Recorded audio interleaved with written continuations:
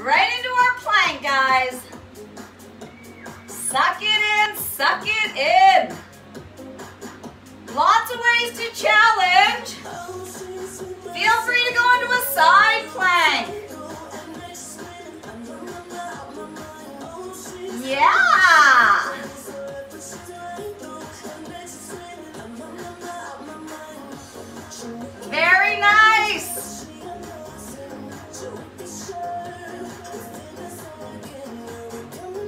feel free to go to the other side.